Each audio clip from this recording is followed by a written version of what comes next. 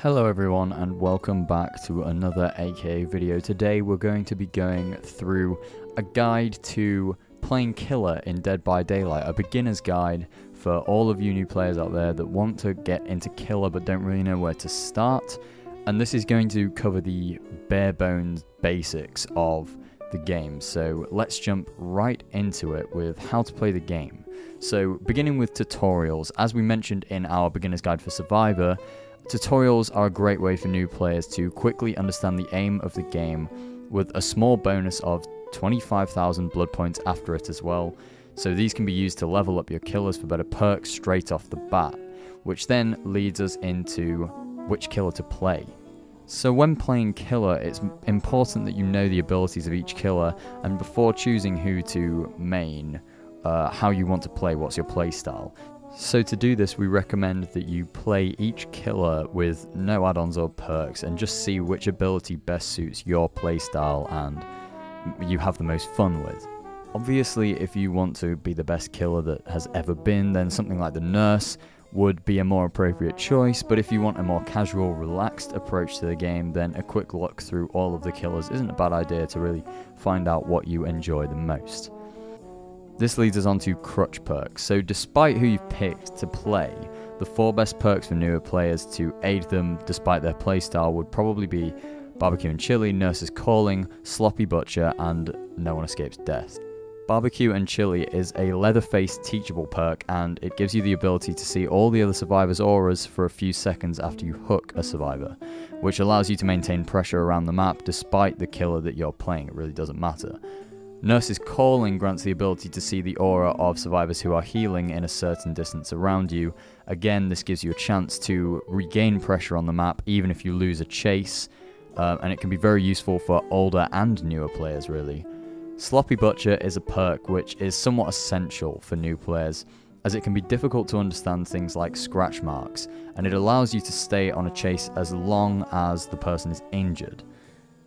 NOED by now has become a staple for lower tier killers as it gives them a second chance when survivors become altruistic at the end of the game, which most high tier players may do. It allows you to one hit down survivors once the last generator has been completed, as long as your Hex Totem is still active. And it's once again an essential perk to give you the edge as killer. So, what are teachable perks then? Well, as a new player, it's essential that you have a strategy regarding who you're going to level up first, as each character has their own three teachable perks, and these can be unlocked in the Blood Web at level 30, 35, and 40. These teachable perks enable other survivors to unlock them through the Blood Web as well, so whatever killer you play, it doesn't matter, as long as you've unlocked them for the killer that they are the teachable for, you can use them with the other killers. So then we have to ask which are the best teachable perks. Well, by far the best teachable perk, as we already covered, is barbecue and chili, not just because after you hook you can see where everyone else is, but as a new player you can level up characters quicker as well. Barbecue and chili gives an additional 25% extra blood points in the trial for every hook, and at tier 3 you get double the blood points if you hook each survivor just through using this perk. Barbecue belongs to the Cannibal, which is a licensed DLC, so if you want that perk, you will have to buy him, or you can buy the perk from the Shrine of Secrets when Barbecue is added to it. After getting Barbecue, I would recommend getting a Nurse's Calling, as it complements Barbecue and Chili well due to its ability to keep pressure on the survivors. This perk belongs to the nurse but was mentioned previously, so let's move on straight to the third essential teachable perk for newer players, which is Enduring. Enduring is a perk which enables you to have less of a cooldown after being stunned in the trial. This might seem like a wasted spot, but for newer players it's essential not to be scared of pallets. Respecting pallets, as it's called, can give the upper hand to survivors if they hold their nerve, so it's best to run straight into a pallet as you might catch survivors off guard as they misjudge your swing. Enduring is a teachable for the Hillbilly. Finally, I would recommend Bloodhound, which is a Wraith perk. Newer players should consider this since the chase mechanic at first can be confusing with scratch marks on your screen. Knowing which to follow takes some time for newer players, whereas if you use Bloodhound, following bloodstains is easier than scratch marks at first. This will introduce you to the chase mechanic of the game and it makes a more fun environment for you as a killer, especially if you're new. Then we move on to add-ons. Each killer has their own specific item, such as the chainsaw for the hillbilly and the hatchet for the huntress, and each item can have specific add-ons to improve the item's effectiveness. Since there are so many different combinations, we won't be going through them all in this video, but a link to the Dead by Daylight wiki showing all the add-ons for every killer will be in the description.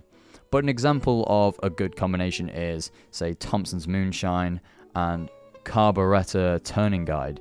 These complement each other for the Hillbilly, allowing him to move quick and with more agility when revving his chainsaw. The key to add-ons is just trying them out. Find which ones complement your playstyle the best and you really won't go far wrong.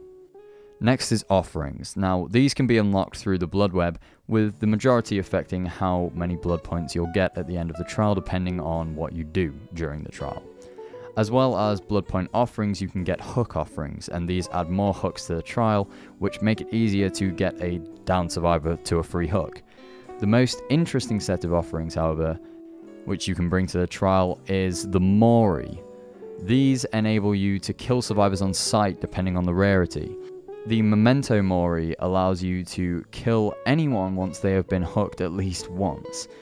The Ivory Memento Mori allows you to kill one person once they've been hooked at least once, and the Cypress Memento Mori allows you to kill the last survivor in the trial. The final type of offering is a map offering, which pretty much guarantees that you're going to get sent to a specific map. As well as offerings which affect the trial in some way, you can get offerings which enable you to play as a DLC character if you currently don't own them. These include the Black Splinter, which lets you play as Michael Myers, the Bone Splinter, which lets you play as the Cannibal, the Smoking Splinter, which lets you play as Freddy, and the Glass Splinter, which lets you play as the Pig. These offerings give you a chance to play the DLC characters before you purchase them, a bit like a test run as that killer. And if you remember before, we say check out all the different killers before you decide which one to play. This is a great way to do that. So next is how to use the Blood Web. Well, the Blood Web is part of the game which enables you to progress. By leveling up your Blood Web, you unlock more perks, offerings, and items for that specific character. Until level 10, you'll have to unlock all the parts of your web, However, after this point, the entity will wake, preventing you from getting every single part of the web. At this point, the most effective way to level up a blood web is by getting the common offerings and items as frequently as possible. This will enable you to go through the blood webs for a lower amount of blood points. And if you do this, you will get to rank 40 for the killer that you choose in no time.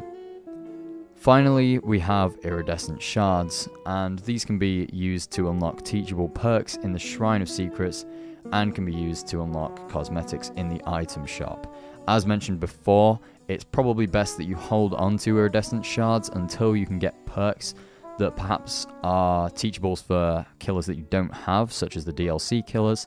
That's usually the most effective way to go around these, but if you want to unlock, say, cosmetics as well, it's a pretty cool addition and it makes your killer look really neat. So that's pretty much it for the basic Dead by Daylight killer guide. Uh, let us know in the comments if there's anything we've missed here or if you enjoyed the video. Be sure to like it if you enjoyed it too and subscribe for more content like this. Apart from that, this has been AK and we'll see you in the next one. Thank you. Peace.